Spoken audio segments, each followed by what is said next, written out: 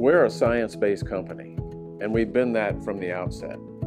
So what we want to make sure is that we establish consistent high level product performance as to enable a very low cost of production overall, but also then very favorable economics for the grower. We're really just saying understand the science and the rest will take care of itself.